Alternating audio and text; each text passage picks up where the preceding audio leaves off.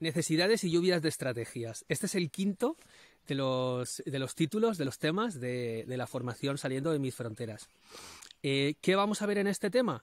Pues bueno, vamos a conectar con el cuerpo, por fin, vamos a conectar con el cuerpo, con, eh, ya conectamos con el tema anterior, en este tema vamos a conectar con las necesidades, con lo realmente eh, nos mueve, con nuestros valores, con lo que es más importante en este momento de nuestra vida, para nosotros para poder entendernos y para poder entender a otras personas.